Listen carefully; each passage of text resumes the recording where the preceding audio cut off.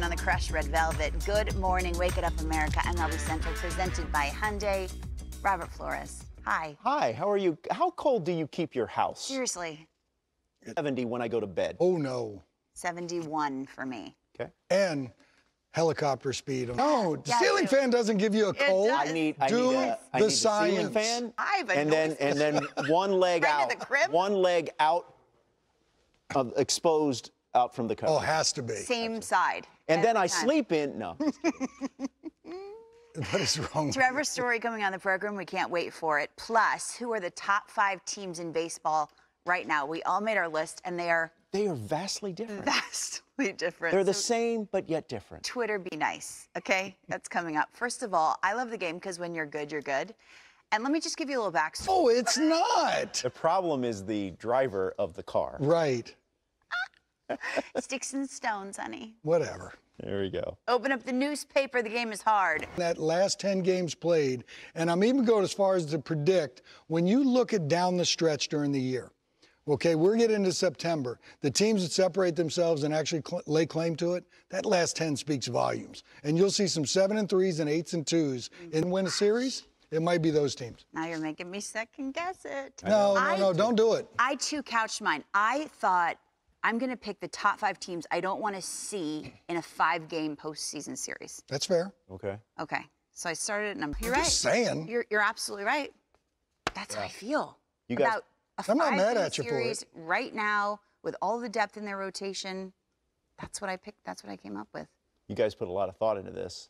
You didn't. These, Hey, these ways. Lauren. I do. Lauren, when you get here like post nine o'clock, that's when you're running to track. That's, What happens? You know, when you're the only car parked in the lot, and there's no traffic. That that even hour. makes my parking worse. That like there's no cars around it. Ah, That's false hustle that you get here that early. okay, let's go through mine here. Kind of like 6A and 6B. Yeah, Astros Twitter is very, very disappointed with me. So I, I think it's a it's a fun way. It just shows just how we thought that the Dodgers would be. I'm willing to forfeit my length of time Yeah. for that display of the banners. Look, That was Tim Lu- and Lucas Lucas. is Lucas is doing was things in that control room. I mean, but Yeah. it, it starts with Lucas and then it trickles its way down to a very effective studio control. The uh, best in the business. Good job, guys. And Ladies. gals. All right. Okay. Well, the NL Central is wide open, and for today, Tuesday, the responsibility lies on the shoulders of Adrian Houser and Sonny Gray. 96 pitches over four and two thirds last time out for Sonny Gray.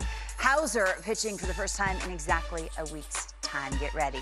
Cardinals very much in the mix, and all signs point to Carlos Martinez kind of throwing that 10 runs in two thirds of an inning outing away, flushing it and starting anew, sharing the mound with Shane Bieber, who's made one career start against St. Louis, one run over six innings. And holy NL Central, right? Cubs in beautiful San Diego, and they will have to deal with Dinelson Lamet again. They're like, really? Who's vintage on Wednesday against them? The fastball, slider, all of it working.